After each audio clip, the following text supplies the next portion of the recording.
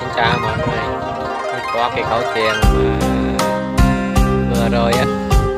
Thì vì sao mà gia đình đoàn tụ mà không có cái cảnh buồn à, xảy ra? Thì là cái lý do thế này.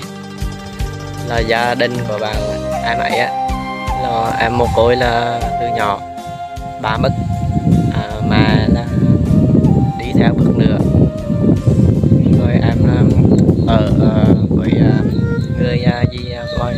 bà cô thôi cũng gọi là mẹ nuôi thôi.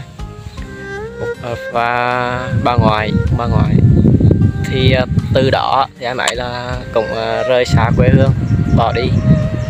Tới bây giờ là gần 10 năm à, chưa về lại nhà. Trong quá trình ở Sài Gòn á, thì có gặp được à, mẹ.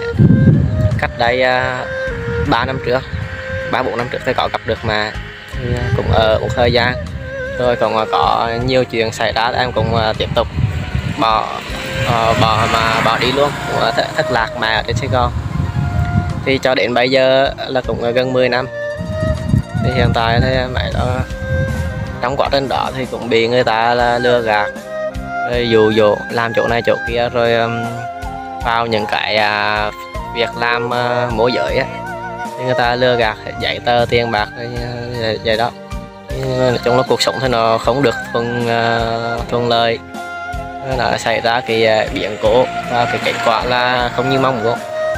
Thì rồi em muốn là ăn ăn bơ ngủ bụi à, đi chỗ này chỗ kia cũng suốt mấy năm. Thì này thì trong người thì đang mang bệnh à, cái căn bệnh mà sinh sinh tử á. Không biết sao mà nó bị phân bụng. Không rõ nguyên nhân nữa.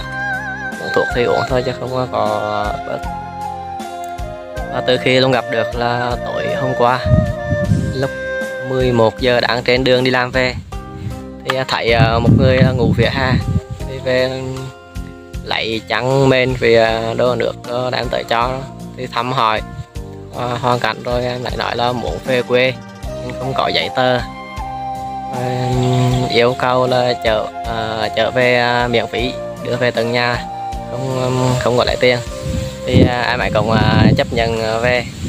Và bắt đầu 12 giờ đi tới à, 3 giờ thì dân chân nghỉ. 6 giờ sáng bắt đầu à, 7 giờ sáng bắt đầu đi tiếp. Thì cho tới sáng hôm nay ta đã tìm về đến nhà. Thì thật sự là khi về tới nhà thì không nhớ nhà chỗ nào cả. Phải đi hỏi 10 năm không về lại và cũng quên nhiều lắm. Và cuối cùng thì cũng là đoàn viên. Như vậy đó cảnh là nó không có cảnh buồn xảy ra. Thì uh, ờ, đoàn tụ